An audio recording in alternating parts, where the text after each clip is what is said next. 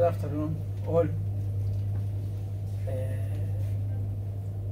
I am Mustafa Kamil Abu Snan, uh, consultant of surgery, Egypt, of High Egypt, Said, Qina.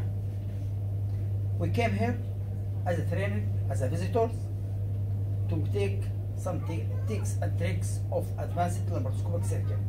But now we feel truly that we are a family with our professors, our uh, colleagues, our juniors. Uh, so I am grateful and thankful for God and thankful for all the team, doctors, nursing, workers, and service. Truly, we are feeling as a family. We uh, take uh, much more than learning. The hot, warm, hotness, warmness, and familiar, familiar uh, to expire with you.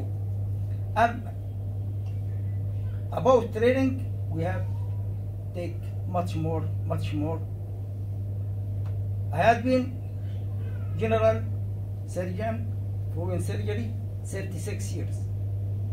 I learned early laparoscopic surgery in 1990.